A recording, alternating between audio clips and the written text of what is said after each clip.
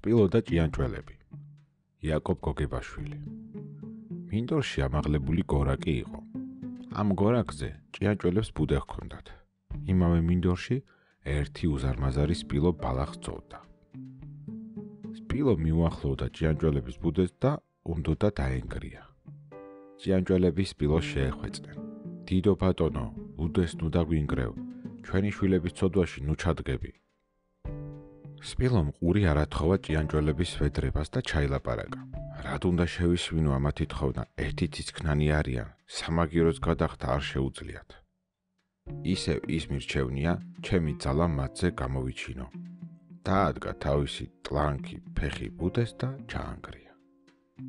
ჭიანჭველები საშინლად გაბრაზდნენ და სამაგიეროც გადახდა განიზრახეს. ისინი ერთ გუნდად შეგროვდნენ და მიეხვივნეს სპილოს. ფეხებიდან ტანზე ააცოცდნენ. ზოგი ყურში შეუძრა, ზოგი ცხვირში და კვედან დაუწყეს. სპილო ბევრს ეცადა, როგორმე მოეშორებინა თავიდან თავისი წვალებლები, მაგრამ ვერაფრით მოახერხა. ჭიანჭველები კვენდნენ და კვენდნენ სპილოს, მოსვენებას არ აძლევდნენ. სპილომ ახლა კი ცხადად დაინახა, რომ პატარა სულიერებსაც შესძლებიათ სამაგიეროს გადახდა.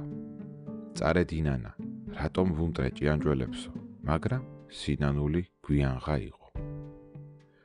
ჭიანჭველები თავისას არიშლიდნენ და საშინლად დაჯავდნენ სპილოს. დაუსრულებელმა სიმწარემ რამდენიმე დღის მოусვენრობამ თლად გადარია სპილო. აღარ იცოდა რა ეკნა. გიჟივი დარბოდა უგზო უკლოდ და კლდეზე გადავარდნა ელოდა.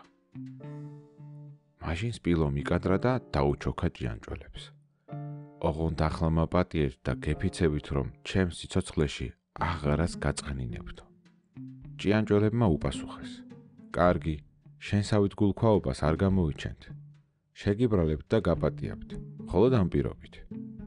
დღეის შემდეგ შენ აღარ უნდა გაბედო არამს თუ ჩვენი წენა, არამედ არაფერი არ უნდა დაუშაო სხვებსაც. მით უმეტეს პატარასა თუ სუსცაო." სპილომ ხელმეორად შეჰფიცა ჭიანჭველებს. მაშინ გამარჯვებული ჭიანჭველები ჩამოცოდნენ სპილოს ხეულიდან ძირს და მხიარულად გასწიეს ახალი ბუდის ასაშენებლად.